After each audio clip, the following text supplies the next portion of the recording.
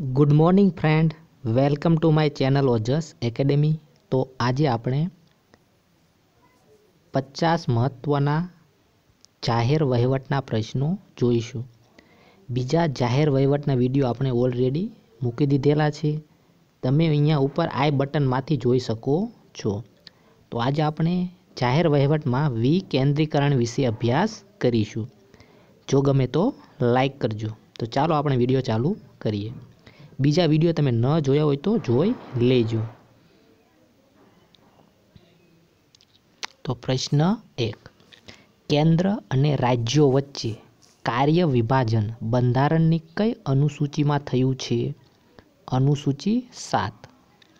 બે.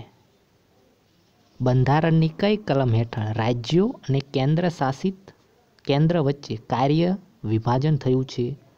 કલમ બસો છપ્પન. પ્રશ્ન ત્રણ. બંધારણની અનુસૂચિ સાત હેઠળ કેન્દ્ર સરકારને બે હજાર ચૌદ સુધીની સંઘ યાદી અનુસાર કેટલા કામો સોંપાયા છે? સો કામ. પ્રશ્ન ચાર. બંધારણની અનુસૂચિ સાત હેઠળ રાજ્યોને બે હજાર ચૌદ સુધી કેટલા કામો સોંપાયા છે? એકસઠ કામ. આ બધા આઈએમપી પ્રશ્ન છે. તમે ધ્યાનથી જોજો. પ્રશ્ન પાંચ. નીચેના વિધાનો વાંચો. કયું સાચું છે? તો કે ચારે ચાર વિધાન સાચા છે. સત્તા છેક નીચલા સ્તર સુધી પહોંચેલી હોવી જોઈએ. લોકો વધુ આત્મનિર્ધારનો અધિકાર માગે છે. વિકેન્દ્રીકરણથી જાહેર ક્ષેત્ર વધારે કાર્યક્ષમ બને છે. વિકેન્દ્રીકરણને હંમેશા સંઘર્ષનો સામનો કરવો પડે છે. પ્રશ્ન છ. કાર્ય વિભાજન માટે બંધારણની અનુસૂચિ સાતમાં કેટલી યાદીઓ આપવામાં આવી છે? ત્રણ યાદી આપવામાં આવેલી છે. પ્રશ્ન સાત.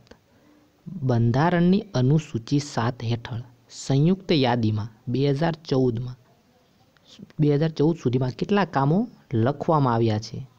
બાવન કામો લખવામાં આવ્યા છે. પ્રશ્ન આઠ. જુદા જુદા કામો સરકારના જુદા જુદા વિભાગોને સોંપવામાં આવે તો તેને કેવું વિકેન્દ્રીકરણ કહેવાય? કાર્યાત્મક વિકેન્દ્રીકરણ કહેવાય. પ્રશ્ન નવ. જુદા જુદા નિર્ણયો લેવાની સત્તા પંચાયતોને અને પાલિકાઓને સોંપાય. એને કેવું વિકેન્દ્રીકરણ કહેવાય? રાજકીય વિકેન્દ્રીકરણ કહેવાય. પ્રશ્ન દસ. સત્તા કે કાર્યો પેટા વિભાગોમાં વહેંચવામાં આવે તેને કેવું વિકેન્દ્રીકરણ કહેવાય? વહીવટી વિકેન્દ્રીકરણ કહેવાય. પ્રશ્ન અગિયાર. સ્થાનિક કક્ષાના નિર્ણયો સ્થાનિક કક્ષાએ લેવાય. એને કેવું વિકેન્દ્રીકરણ કહેવાય? ભૌગોલિક વિકેન્દ્રીકરણ કહેવાય. પ્રશ્ન બાર. સંગઠનમાં નીચલી કક્ષાએ લેવાતા નિર્ણયોની સંખ્યા વધારે. તેમ વિકેન્દ્રીકરણ વધારે હોય છે. પ્રશ્ન તેર. સંગઠનમાં નીચલી કક્ષાએ જેમ વધારે મહત્ત્વના નિર્ણયો લેવાય તેમ વિકેન્દ્રીકરણની માત્રા વધારે હોય છે. પ્રશ્ન ચૌદ. મોટા ભાગના કાર્યોને અસર કરતા નિર્ણયો નીચલી કક્ષાએ લેવાય તો વિકેન્દ્રીકરણ કેવું થયું કહેવાય? વધારે થયું કહેવાય. પ્રશ્ન પંદર. નિર્ણયો પર નિયંત્રણની આવશ્યકતા ઓછી હોય તો વિકેન્દ્રીકરણ કેવું થયું કહેવાય? વધારે થયું કહેવાય. પ્રશ્ન સોળ. વિકેન્દ્રીકરણ વધારે ક્યારે થયું કહેવાય? તો ઉપરનામાંથી શું સાચું છે? ચારે ચાર વિધાન સાચા છે. નિર્ણય લેતા પહેલાં વરિષ્ઠ અધિકારીને પૂછવું ના પડે. પંચાયતો વધારે મહત્ત્વના નિર્ણયો લે. પાલિકાઓ વધારે મહત્ત્વના નિર્ણયો લે ને નિર્ણય લેતા પહેલાં ઓછા લોકોની સલાહ લેવી પડે. પ્રશ્ન સત્તર. વિકેન્દ્રીકરણથી સો લાભ થાય છે. તો ચારે ચાર લાભ થાય છે.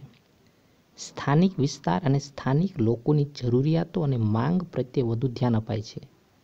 ઉપરના સ્તરનો કાર્યબોજ ઘટે છે. નવા વિચારો આવકારદાયક બને છે. કાર્યસ્થળે જ નિર્ણયો લઈ શકાય છે. પ્રશ્ન અઢાર.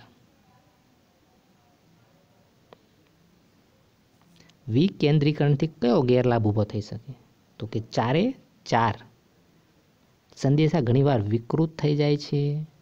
નીતિ વિષયક નિર્ણયો અને નીતિના અમલની કક્ષાએ અસરકારક સંકલનનો અભાવ. સંગઠનના વિવિધ સ્તરો વચ્ચે સંકલનનો અભાવ. જુદા જુદા સ્તરે જુદા જુદા ધોરણો. પ્રશ્ન ઓગણી. બંધારણની કઈ કલમ હેઠળ પંચાયતો માટેના કામો નક્કી કરાયા છે? બસો તેતાલીસ જી. પ્રશ્ન વીસ.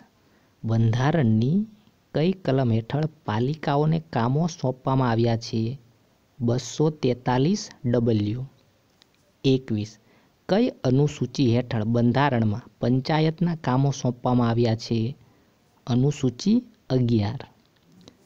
પ્રશ્ન બાવીસ. કઈ અનુસૂચિ હેઠળ બંધારણમાં પાલિકાઓને કામો સોંપવામાં આવ્યા છે? અનુસૂચિ બાર હેઠળ. પ્રશ્ન તેવી.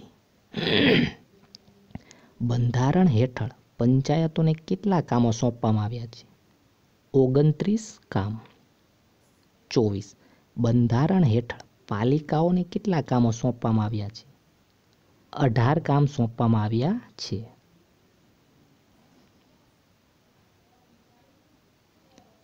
પ્રશ્ન પચીસ વિકેન્દ્રીકરણ સફળ થવા માટેની મહત્તમ શરત કઈ છે? બધી શરત છે.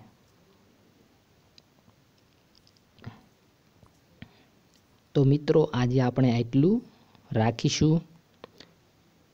જો તમને આ વીડિયો ગમ્યો હોય તો લાઈક કરજો, શેર કરજો અને ઓજસ એકેડેમીને સબસ્ક્રાઈબ કરજો. તો મિત્રો બીજા વીડિયો ન જોયા હોય તો પ્લેલિસ્ટમાં જઈને જોઈ શકો છો. યોજનાઓ માટેના ખાસ વીડિયો પણ મૂકેલા છે. તો મિત્રો, બાય, ગુડ લક